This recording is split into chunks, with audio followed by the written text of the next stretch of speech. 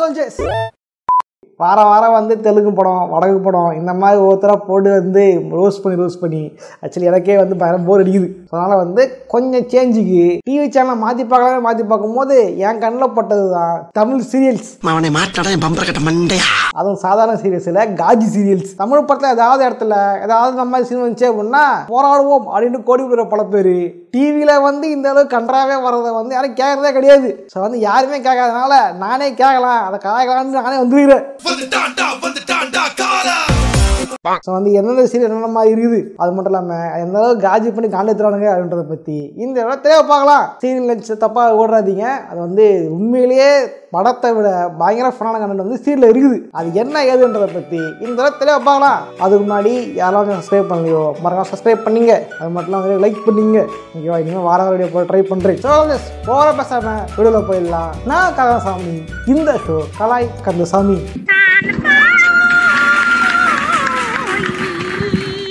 அவன் வந்து முத முதல்ல பார்க்க போகிற சீரியல் எது அப்படின்னா ஜீ தமிழில் ஓடிக்கிட்டு இருக்க அமுதாவும் அன்னலட்சியும் இது வந்து நான் எப்படி சொல்கிறது நான் வந்து சீரியல் தொடர்ந்தெல்லாம் பார்க்கல.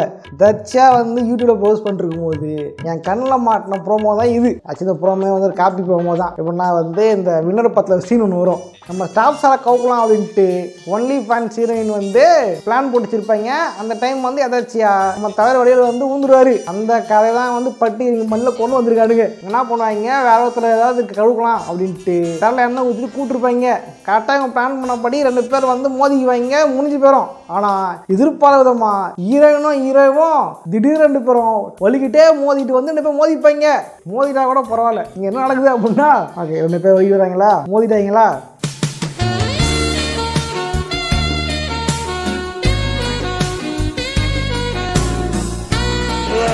டேய் என்னங்கடா இது? லிப்லாக்லாம் வைக்கிறீங்க? இது சீரியலா வேற ஏதாவது ஆடாது இது? சீத்தோட உள்ள அப்பா.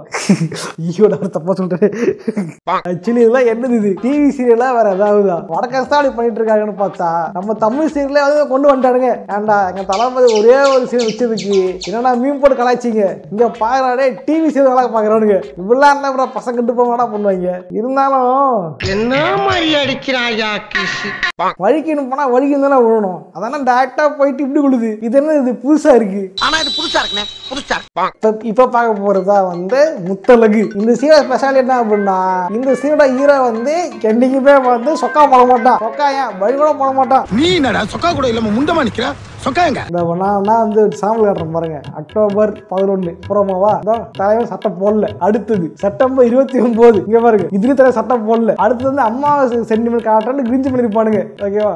இந்த புறமெல்லாம் பார்த்தா தலைவன் வந்து சட்டம் போடல. அடா இவ்வளவு செலவு பண்ணி சீ எடுக்கிறீங்க. சொக்காய் தர மாட்டேங்குது ஹீரோவுக்கு. எப்ப பார்த்து தரத்தை போட்டு சுத்திட்டு இருக்காடா அவன். இதெல்லாம் சென்சார் போர்டு கண்டுக்காது. நம்ம அண்ணன் வந்து ஒரே ஒரு வார்த்தை. பத்தாவது பாட்டில் சேஸ் அடிக்கிறேன்னு சொன்னா போதும். அதுக்கு முன்னாடி எடுத்து தராங்க கத்திரிக்கோலை செயலை செய்ய தூண்டுவதற்கான ஒரு தூண்டுகோலை தான் இந்த பாடலை. பார்க்குறோம். ஹேஷ்டாக் ஜஸ்டிஸ் ஃபார் பத்தாவது பாட்டில். ஓகே வந்து இதில் இந்த சீனை பார்த்தீங்க அப்படின்னா பல காஜி சீன்கள் இருக்கிறது. அது காஜி மட்டும் இல்லை கிரிஞ்சி சீன்ஸாக இருக்குது. ரெண்டும் ஒன்றுத்து ஒன்று சமைச்சது கிடையாது. பெட்ரூம் சீன் பார்த்துருப்பீங்களே? அந்த மாதிரி வந்து பாத்ரூம் சீன் ஆனால் வந்து தலையை குளிக்க போவாராம். தலை வந்து குளிக்கும் போது சோப் போட தெரியாதா? ஆனால் வந்து முது தேய்ச்சி விடுறதுக்கு ஒரு ஆள் வேணுமா? இங்கே பூசு அங்கே பூசுன்ற மாதிரி வந்து பூசுறதுக்கு. இவன் வந்து கூட்டிருப்பா அப்படி. நானும் வந்து சோப்பு எடுத்து மூஞ்சில தடவிட்டு அது சுற்றி வெளியே ஓடுருவாங்க. இதுதான் வெளியே ஓடுது இல்ல? கம் விட வேண்டியது தானே? தலையை வைக்கவே இல்லாம டவுல கட்டிட்டு அப்படியே ஓடி வந்துருப்பான் மாட்டிக்கினாரு ஒருத்தர் இவரை காப்பாத்தணும் கத்திரி இவரை கத்திரி அடுத்த சீரியல் தான் ஈரமான ரோஜாவே சீசன் டூ ஆக்சுவலி இந்த கதை தான் வந்து வேற லெவல் கதை. வர்ற மாதிரி வர்ற மாதிரி. இந்த மாதிரி கதையை நீங்க Indian cinema Japanese cinema American cinema இந்த மாதிரி எதுவுமே பார்த்துருக்க முடியாது. Hello madam. அந்த கதை கேட்டல இந்த அந்த எபிசோடு இது சீசன் டூ ஈரமான ரோஜா அதை பத்தி சொல்ல. மூணு பேரு பிரதர்ஸ் மூணு பேரு சிஸ்டர்ஸ் One hour later. போதும் போதும் மேலே கருவட்டு கேட்க முடியாது. ஆளை விடு. என்ன அதுக்கே எப்படி சொல்லிட்ட? இதுக்கு மேலே ஒன்று இருக்கா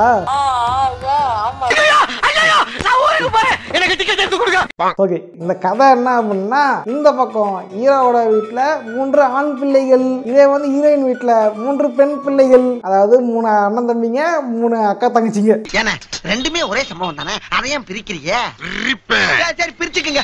என்ன அப்படின்னா ரெண்டாவது தம்பியும் ரெண்டாவது தங்கச்சியும் வந்து லவ் பண்ணிருப்பாங்க ஆல்ரெடி இந்த டைம் தான் வந்து இதோட அப்பாவும் அவங்களோட அப்பாவும் வந்து ஃப்ரெண்ட் அப்படின்றதுனால ஃப்ரெண்ட்ஷிப் பாண்டிங் இருக்கணும்ட்டு மூத்த ரெண்டு பசங்களுக்கு வந்து கல்யாணம் பண்ணிக்கலாம். அவங்க பிளான் போடுவாங்க. ஆனால் இந்த டைம் தான் வந்து வில்லன்ஸ் பிளான் போட்டு அந்த பொண்ணை க கடத்திடுவானுங்க. இந்த டைம் தான் இந்த ரெண்டாவது பையன் வந்து ஹீரோ மாதிரி கிளம்பியிருப்பாரு. நான் போய் அண்ணியை கூட்டின்னு வரேன் அப்படின்ட்டு. கூட்டு போடாத ரெண்டாவது வந்து கல்யாணம் பண்ண காடாம போயிருச்சு. ஆனால் கல்யாணம் நிற்கக்கூடாது அப்படின்ட்டு. ரெண்டாவது பொண்ணு இருக்கு தெரியுமா? அதாவது இவரு- இவரோட ஆளு. அதை வந்து இந்த மூத்த பையனுக்கு கல்யாணம் பண்ணி வச்சிருவானுங்க. அப்புறம் என்ன? எல்லாம் முடிஞ்சு போச்சு. அசந்த நேரத்தில் ஆளை ஆட்டையை போட்டானுங்களே அப்படின்ட்டு. இந்த தம்பி வந்து அழுதுகிட்டு இருக்க. அந்த டைம் தான் வீட்டு இன்னொரு பிளான் போடுவாங்க. இங்கே வந்து இவன் கல்யாணம் பண்ணிக்க வேண்டிய பொண்ணை. அவன் கல்யாணம் பண்ணிக்கிட்டான். அவள் கல்யாணம் பண்ணிக்கிற பையனை. இவன் கல்யாணம் பண்ணிக்கிட்டா. இப்போ தனியாக இருக்குது நீங்கள் ரெண்டு பேரும் தான். நீங்கள் ரெண்டு பேரையும் கல்யாணம் பண்ணிக்கூடாது அப்படின்ட்டு பேரண்ட்ஸாக சேர்ந்து கல்யாணம் பண்ணி வச்சிருவாங்க. இப்போ தான் வந்து மிஸ் அண்டர்ஸ்டாண்டிங் வந்து ஐயோ இப்படி ஆயிடுச்சு. முன்னாள் காலம் ஆயிடுச்சு. காதலி வந்து அண்ணன் தள்ளு போயிட்டானு அப்படின்ட்டு இவங்களுக்குள்ள பஞ்சாயத்து போயிட்டு இருக்கும்போது இதுக்கப்புறம் வந்து பசங்களாம் அப்படின்னு பிளான் போட்டுருவாங்க. சரி என்ன அவனுக்கு புரியவே இல்லை. இதுக்கு முன்னாடி வந்த பல சீரியல் பார்த்தீங்க அப்படின்னா வந்து இந்த கோலங்கள். அதுக்கப்புறம் தான் வந்து மிட்டி ஒலி. இதெல்லாம் வந்து குடும்ப கஷ்டம். மாமியார் கொடுமை. பேய்கதை அப்புறம் தான் இந்த மாதிரி கதையை காமிச்சிருந்தாங்க ஒரு நாயம் இருக்குது. அப்புறம் வந்து பணக்கார குடும்பத்தில் நடக்கிற பிரச்சனைகள் அப்படின்ட்டு. ஆனந்தம் இது ஆனந்தம் அப்படின்ட்டு வந்து சீல் எடுத்துட்டு இருந்தாங்க ஒரு நாய் இருக்குது. அதுக்கப்புறம் கன்னடே கிடைக்காம தமிழ் பார்த்து ஆட்டை போட்டு எடுத்தாங்க அது கூட ஒரு மனுச்சு விட்டுடலாம் நீங்க என்னடா நான் லிப்லாக் விற்கிறானுங்க ஃபர்ஸ்ட் சீன் விற்கிறானுங்க மாடி காம பார்வையாளருக்கு காலையில விடியற வரைக்கும் இப்படிதான் பேசிட்டு இருக்க போறீங்களா? இவன் சும்மா இருந்தாலும் சண்டாள சிரிக்கி இவன் நாலா பக்கமும் சுத்தி சுத்தி வர்றா? நான் வந்து சீல் ஆர்டர்ஸ்லாம் பார்த்துருக்கானுங்க. நான் வந்து சீலோட டிஆர்பி வந்து தெரியுமா ஏறே இருக்கும்போது இது மட்டும் ஹைல போய் டக்குடு என்னது ஒரு சினிமா ஹைட்டே இருக்குது அப்படின்னு பார்த்தா அந்த சீல் வந்து ஃபர்ஸ்ட் சைட் சீல் இருக்குது போல. ஓகேப்பா ஃபர்ஸ்ட் சைட் சீல் வச்சோம் அப்படின்னா டிஆர்பி நல்லா கிடைக்குது. ஆன்டிஸ் மட்டும் இல்லாம அங்கிள்ஸ் வெறி கொண்டு பாக்குறாங்க. அதனால வந்து நம்ம இது நம்ம விற்கலாம் அப்படின்ட்டு ஆள் விஸ்டானுங்க போல. Media is a show business மக்களுக்கு பிடிச்ச விஷயத்த நான் கொடுத்தேன். இதுல என்ன தப்பு இருக்கு? முன்னெல்லாம் வந்து ஏதாவது ஒரு இளைமுறைக்காக காமிப்பாங்க இல்லை பாட்டு போட்டு டான்ஸ் ஆட விடுவாங்க. அது ஒரு நாய் இருக்குது சினிமாவில். ஆனால் வந்து அப்படியே பச்சையாக காட்டுறானுங்க. இவன் வந்து டெக்கரேஷன்லாம் பண்ணி ரொமான்ஸ் பண்ணிருப்பாங்க தலையில வந்து பாத்ரூம் போவார். வந்து குழா திறந்து போய் சம தந்துடுவாரு திடீர்னு நனைஞ்சிருவாரு நம்ம போய் வழிக்கு வந்துருவாங்க. உடனே தாங்கி இப்படி பதினெட்டு பேர் ரொமான்ஸ் வந்துடும்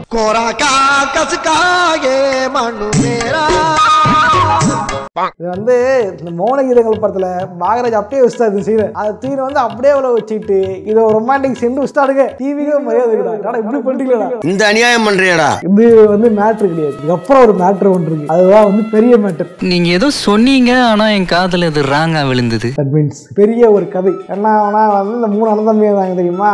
மூணாவது தம்பி கடை தம்பி இருப்பான். இவன் என்ன பண்ணுவான்? இவனுக்கும் வந்து இந்த மூணாவது பொண்ணுக்கும் வந்து காலையில வந்து கனெக்ஷன் ஆயிரும். இப்போ என்ன பண்ணுவாங்க? இந்த மூணாவது பொண்ணுக்கு வேற கல்யாணம் பண்ணிக்கும் போது அது வந்து இந்த அக்கா காரிங்கிட்ட வந்து எல்லாம் கேட்க சரி நம்ம கதை தான் ஒன்று சேரல இவங்களாவது ஒன்று சேரலாம்னு சேர்ந்துக்கும் போது தான் இந்த மூணாவது தன் வந்து எஸ்கேப் ஆயிருவான். ஏன்டா எங்க அண்ணனுக்கு ரெண்டு பேர் தான் வந்து ஒரே குடும்பத்தில் பொண்ணு எடுத்து நாசமா போயிட்டாடுங்க நானும் அந்த குடும்பத்தை பொண்ணு எடுக்க மாட்டேன் தனியா போறேன் அப்படின்ட்டு தேவையில்லாம வந்து வாண்டடா வந்து வண்டியா இருப்பாரு. நீ பாக்கெட்லயும் வைக்க வேணாம் டேபிள்லயும் வைக்க வேணாம் நான் வேற பெருசாக பிளான் பண்ணிட்டேன்.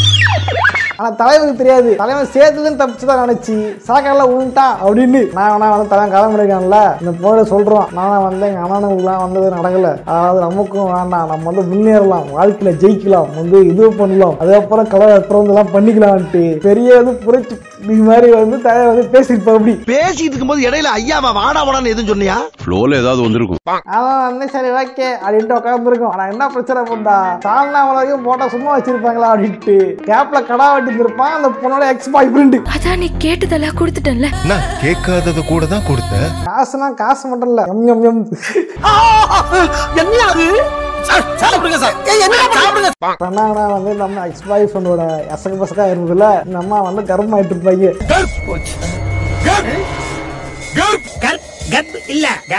தூ, தூ, தூ. ஏண்டா தரித்திரம் முடிச்ச மூதேவி? உன் கதை என்னடா காரி துப்புற மாதிரி இருக்கு? இது டிவி சீரியல் சைக்கிளா படமாடா இது இப்படி எடுத்து வச்சிருக்கீங்க. கருமம். இது ஒரு கதை இது ஒரு சீரியலு இது ஒரு கேரக்டர் கேடு கேட்ட கேரக்டர் ஊடு கட்டி அடிக்கலாம் வாங்கடா. இந்த மாதிரி கேடுகட்ட கேரக்டர் நிறைந்த ஒரு சீரியல் தான் வந்து இந்த சீரியல் ஆனா டேய் இந்த கருமத்தெல்லாம் வீட்டில் உட்காந்து பார்த்தா நாடா வருது? நான் அதை தனியா கடைசியில பேசுறேன் அதை பத்தி?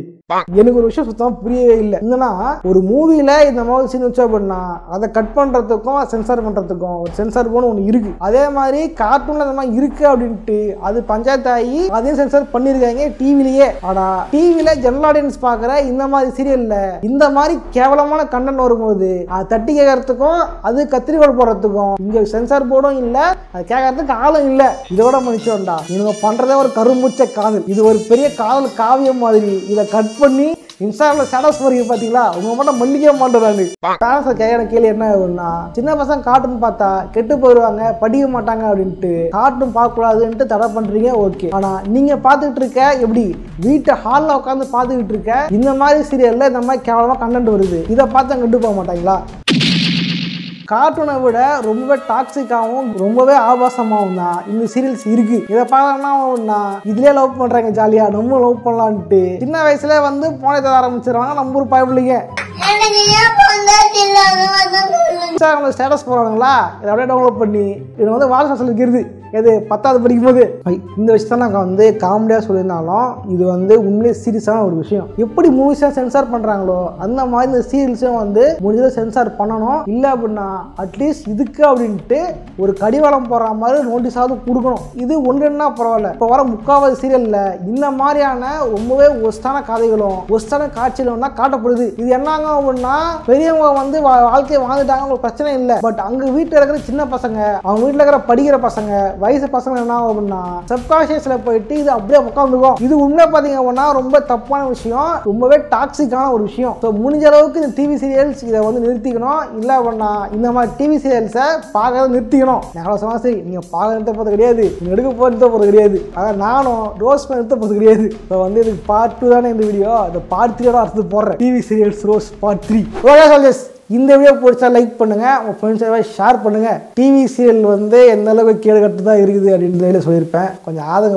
அதிகமாக இருப்பேன் இருப்பேன்னு நினைக்கிறேன். ஏதாவது அதிகமாகிடுச்சு ஓவராயிடுச்சுன்னா மன்னிச்சிங்க ஏன்னா அந்த கண்ணன் அந்த அளவுக்கு இருக்குது. சோழேஷ் இது வந்து பார்ட் டூ தான். ஆடியோ சீரியல்ஸ் போட்டிருப்பேன். அது பார்ட் ஒன்று இது பார்ட் டூ தான். இதே மாதிரி இது நல்லா போச்சு அப்படின்னா பார்ட் த்ரீ கூட பண்ணுறேன் ஏன்னா வந்து நான் எடுத்து நான் எடுத்தது அதிகம். இப்படி கூட சொன்னது கம்மி. இன்னும் நான் சொல்லாத வழியாக இருக்குது. ஓகேவா இது வந்து நல்லா போச்சு அப்படின்னா அதெல்லாம் கலந்து வந்து கண்டிப்பாக பார்ட் த்ரீயாக கொடுக்க ட்ரை பண்ணுறேன் முடிஞ்ச அளவுக்கு உங்கள் ஃப்ரெண்ட் உங்கள் ஃபேமிலி கிட்ட வந்து சொல்லுங்கள் இந்த மாதிரி டாக்ஸிக்காக பார்க்காதீங்க. அது எங்களை அஃபெக்ட் பண்ணுதுன்னு சொல்லி டிவி சீரியல் வந்து தடை பண்ணுங்க. சோகேஸ் போகிறோம் சும்மா போகாதீங்க. நம்ம சப்ஸ்கிரைப் பண்ணிட்டு போங்க. வந்து லைக் பண்ணிட்டு போங்க. ஓகே இதே மாதிரியான இன்னொரு சுவாரஸ்யமாக சந்திக்கிறேன். போடுறேன். பாய்